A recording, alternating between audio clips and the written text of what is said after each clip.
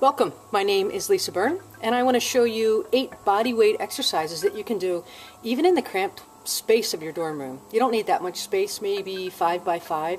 You don't need anything, just your body, your weight, and your space. So come with me.